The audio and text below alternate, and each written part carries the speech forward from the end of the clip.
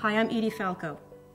I love New York, but the cruel carriage industry brings shame on this great city by enslaving horses to live every single day in misery, monotony, and pain. Nine hours a day, seven days a week, these horses are hauling tourists around congested, polluted streets. They're inhaling exhaust fumes and pounding the hard pavement. These horses show symptoms of extreme stress, and many are injured or killed on the job.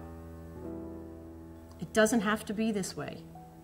New York can spare these innocent animals by helping pass the bill to ban horse drawn carriages.